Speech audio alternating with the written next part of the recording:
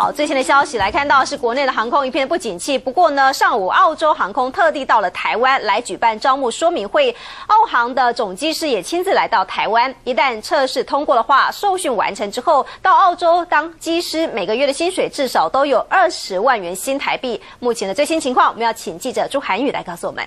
涵宇。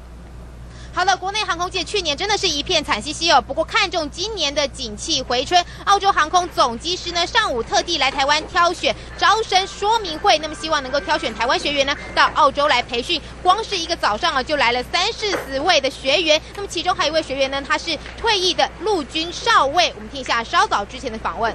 那在每个礼拜天的时候，我也来参加这边的机师班的课，来呃操纵模拟机。大概每天就是从上午九点到下午四点这八个小时的时间。嗯，我以前的职业，其实我是刚从军人退伍，那我本身是军官。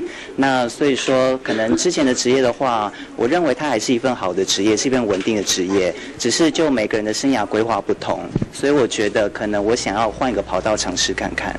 好的，我们可以听到呢，其实为了当机师哦，真的是下定了很大的决心，不仅要放弃原本月薪五万元的国军工作，那么现在还要在自己再掏腰包花个两百五十万到三百万到澳洲来上课。那么除此之外呢，其实现场还有一位年仅十六岁的国中毕业生也来参加考试，他就希望在满十八岁的那一年呢，就能立即拿到机长、机师的执照。以上就现场最新情形，把镜头交还给棚内主播。